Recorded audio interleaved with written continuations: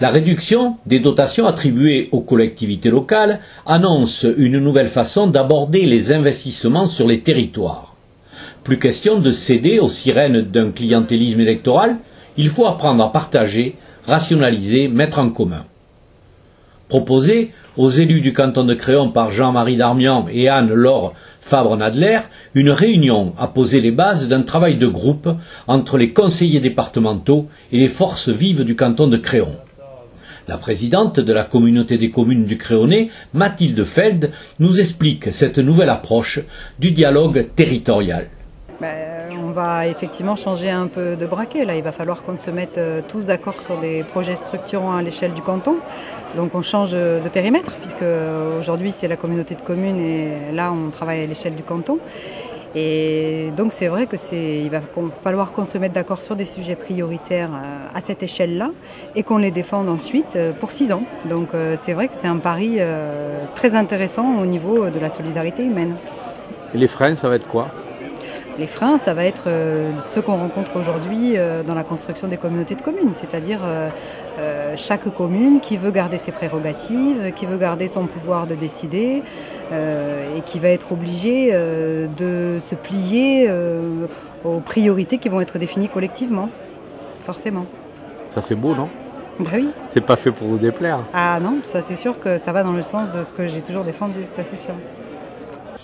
Déterminer ensemble les priorités, non plus pour une seule commune, mais pour un territoire beaucoup plus large, un challenge que compte bien relever Denis Lopez, le maire de Pompignac. On coordonne tout le travail qui est effectué. Et ce n'est pas simplement l'intérêt d'une commune, c'est une commune impliquée dans un ensemble plus vaste. D'abord la communauté de communes, le canton, plusieurs cantons, tout un territoire. Alors si on décide par exemple dans ce conseil euh, citoyen que la priorité, l'une des priorités c'est les aménagements de centre-bourg, ben, à ce moment-là, euh, donc on sera beaucoup plus aidé par euh, le conseil départemental que ce qu'on pouvait l'être précédemment. Si on décide que les transports c'est une priorité, alors qu'auparavant c'était peut-être un peu compliqué au niveau communal d'obtenir euh, soit une subvention, soit une aide, là ça va devenir euh, beaucoup plus facile puisque ça correspondra donc à un engagement qui sera général hein, sur l'ensemble du territoire.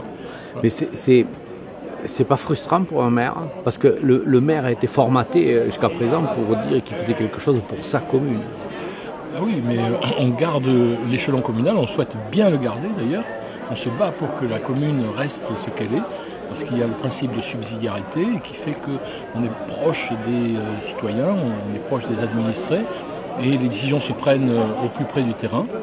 Néanmoins, euh, il ne faut pas que chaque commune fasse euh, ce qu'elle entend sans regarder ce qui se fait à côté. Il peut y avoir des doublons. Imaginons qu'on fasse, je ne sais pas moi, des salles des sports gigantesques, des zéniths gigantesques dans chaque commune. Ça, ça, pourrait ne pas fonctionner et ça entraînerait des dépenses qui seraient sans doute excessives, alors qu'on peut s'entendre pour partager un équipement.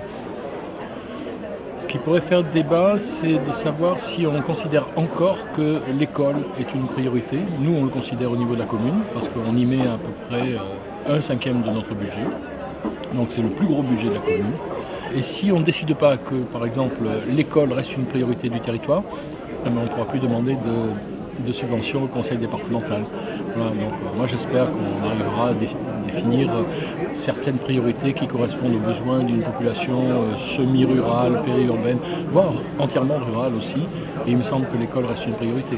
Anne-Laure Fabre-Nadler, toute jeune élue du canton de Créon, accueille avec grand plaisir l'idée d'une mise en commun des idées et des réalisations entre les communes et le conseil départemental. Oui, oui, il va falloir, mais c'est bien, ce soir on voit qu'ils répondent présent ils sont là, je pense qu'ils comprennent les enjeux, je pense qu'ils comprennent en effet l'intérêt de prendre de l'avance, euh, de, plutôt euh, anticiper le mouvement que de le subir.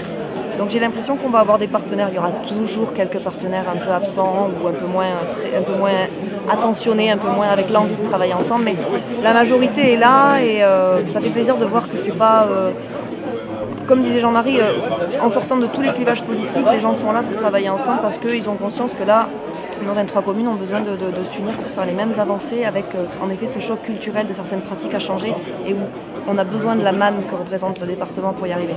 C'est pas, euh, pas utopique? Non, c'est pas utopique, on a 6 ans devant nous, c'est long 6 ans. On va y arriver.